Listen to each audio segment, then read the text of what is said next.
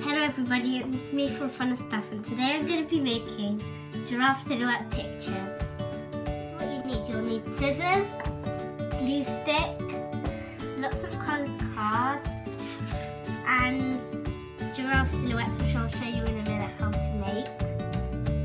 So first, how to make them, you need paper. So do to make it easier, do a hate. And then do an oval to be his head. And do an M on top of his head to be ears. And then you have to make this slightly fatter. And then under here, fatter. So there you've got a giraffe silhouette. Now to do this you need a background. So these paper silhouettes, which are giraffes, you make three of each colour.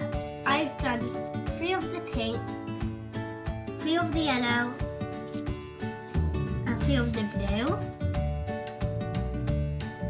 So, and, and then you'll need a once you've choose the colour black background, which is purple for me, you can start adding these on. So first you need to plan before you glue.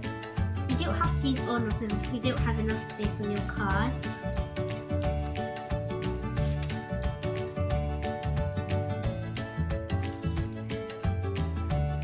For example, if you want this like this, you can, I'm going to try and use all of them.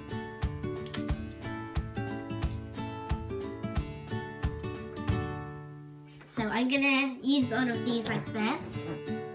So when you've done this, try not to let the pencil land Once you've done this, you can glue it on.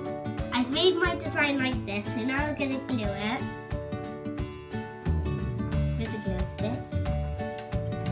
So you're finished, you gluing, you can cut the extra bits